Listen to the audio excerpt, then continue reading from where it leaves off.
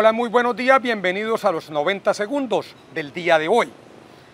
La cosa política se sigue moviendo en la región entera, en cualquier sitio de la ciudad. Hoy les voy a entregar algunos datos y hechos que se registraron durante el pasado fin de semana en todo el área metropolitana de Cúcuta. El primero de ellos tiene que ver con la caminata que hicieron de manera conjunta en el barrio comunero de la ciudadela de Juan Atalaya los aspirantes a la gobernación del departamento William Villamizar y a la alcaldía de Cúcuta Leonardo Jacome, ambos inscritos por firmas en nuestra región. Cientos de personas, como ustedes lo están viendo en estas imágenes, se sumaron a esta correría que arrancó desde las 5 de la tarde y terminó, nos cuentan desde allí, eh, en las horas de la noche. En cortas palabras, esta gran caminata fue todo un éxito para los, los dos aspirantes. Entre tanto, en Cúcuta se dieron a conocer unas denuncias que hizo el aspirante a la alcaldía Juan Bocanegra, quien puso en conocimiento de las autoridades una persecución de que está siendo objeto en las redes sociales, lo cual en el video, dice el candidato, afecta su campaña y su integridad. Por su parte, se vio muy activo este fin de semana a los candidatos César Rojas y Emerson Meneses, quienes se movieron por los diferentes barrios de Cúcuta visitando a sus electores y dando a conocer su propuesta de trabajo. También se concretó esta semana el respaldo para Isaac García de la Fuerza de la Paz, que hace parte del pacto histórico y de los partidos que conforman al pacto como tal. Y en el municipio de Los Patios finalmente se movió mucho el candidato Wolfan Ochoa, quien sigue visitando los barrios y generando desde luego más apoyo para la alcaldía. Este jueves nos cuentan desde los patios, volverá la Wolfoneta a los barrios y allí también estará el candidato Ochoa que se mantiene muy activo en esa ciudad. Y finalmente, mañana se le entregará el coaval a los candidatos William Villamizar y Leonardo Jacome de parte del partido de la U en la capital del país. Un abierto malestar ha generado el cruce de mensajes entre el representante a la Cámara, Diógenes Quintero, y el dirigente liberal ocañero Fernando Álvarez sobre el proyecto que busca darle autonomía a la Universidad Francisco de Paula Santander Ocaña. Fernando Álvarez a través de su cuenta de Twitter le pregunta al representante si es cierto que se estaría oponiendo al proyecto. Ante eso, Diógenes Quintero le asegura que no es cierto que se esté oponiendo. Sin embargo, es claro en que ha advertido en diferentes ocasiones sobre el riesgo que corre este proyecto, puesto que según él no cumple con los requisitos jurídicos que necesita para que sea aprobado por parte del Ministerio de Educación. Precisamente, uno de sus mensajes de Twitter, el representante de la Cámara dice lo siguiente. En la Asamblea Norte de Santander hice la advertencia que la ordenanza que propone la independencia no cumple con los requisitos y se corre un alto riesgo de que el proyecto se caiga en el Ministerio de Educación o en la jurisdicción contenciosa administrativa. Invité a los estamentos de la UFPS Ocaña, a la Gobernación de Norte de Santander y a la Asamblea a iniciar el trámite de manera correcta, cumpliendo los requisitos que nos permitan la aspiración de la región de una universidad autónoma e independiente. Ese fue uno de los mensajes del representante a la Cámara.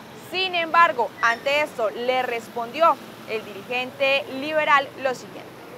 Representante, como bien lo ha expresado el diputado Ortega, es claro que el caso es único en el país. Conozco de 20 años el caso. Comencé esa lucha y en su momento era de voluntades como se mantiene. Me sorprende su posición y pues si asume esa posición es contraria a la voluntad del pueblo. Lo cierto es que en este momento el proyecto se discute en la asamblea del departamento y esperan que desde el Ministerio de Educación se le dé una viabilidad jurídica para que pueda ser aprobado y finalmente pueda ser independiente esta sede en la ciudad de Ocaña. La siguiente es la imagen de la portada de la revista Semana que está circulando desde el día de hoy. La titula así semana, le quedó grande y es una fotografía del ministro de la Defensa Nacional, el doctor Iván Velázquez. Precisamente sobre ese artículo, el senador de la República, Edgar Díaz Contreras, que muy pocas veces se pronuncia en las redes sociales, escribió este, este comentario bastante duro contra el ministro Iván Velázquez. Esto dice el doctor Díaz textualmente. Imprudente es sinónimo de irresponsable.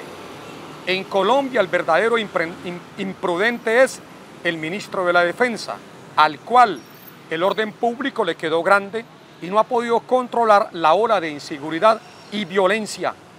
Miles de colombianos, como la sargento Karina Ramírez, tienen que desplazarse por tierra para cumplir con sus obligaciones porque no tienen un helicóptero que lo lleve a su casa o al trabajo.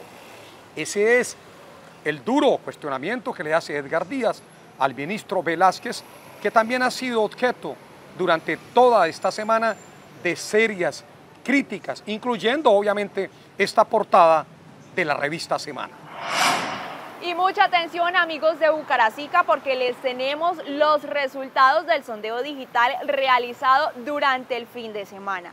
Les agradecemos a todos su masiva participación en donde obtuvieron más de 1.700 votos cada uno de los aspirantes.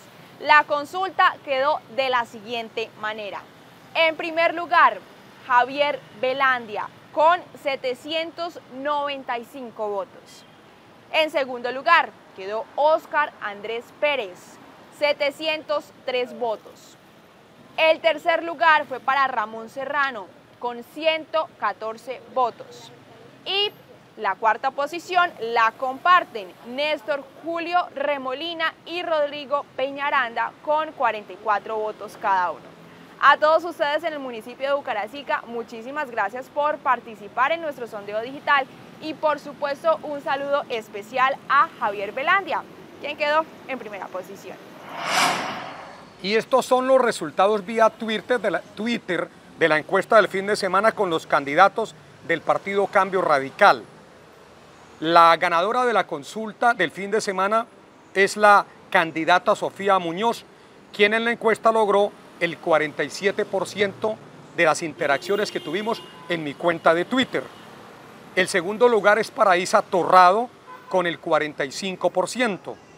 Y el tercer lugar lo comparte el doctor Pedro Leiva con el 4% y el 4% por ninguno de los aspirantes. El total de la votación fue 3.629 votos. Vemos periodísticamente que se movieron Sofía Muñoz y la doctora Isa Torrado porque veo que el doctor Pedro Leiva no se movió en esta consulta que hicimos vía Twitter. Y hoy tengo la siguiente pregunta dedicada al Partido Liberal. Dice así, de los siguientes candidatos del Partido Liberal que aspiran a la Asamblea del Norte de Santander, ¿por quién le agradaría votar? Y damos estas cuatro opciones. Rubi Chacón, Jimena Jurado, Rafael Cáceres y Fran García. Escríbanos en el Twitter, ya lo estamos compartiendo, arroba Freddy Parada 90 para participar de esta gran consulta de los candidatos del liberalismo a la Asamblea del Departamento. Y este fin de semana tendremos la gran consulta de los aspirantes a la alcaldía de la ciudad de Cúcuta. Estamos realizando los trabajos pertinentes para poder desarrollar una gran consulta y que ustedes a través de nuestras redes sociales puedan participar. Así que muy pendientes porque este sondeo se abrirá el día viernes y estará durante todo el fin de semana para conocer desde ya esa intención de voto para la alcaldía de la ciudad de Cúcuta. Hasta aquí los 90 segundos del día de hoy. Nos vemos mañana. Feliz día para todos.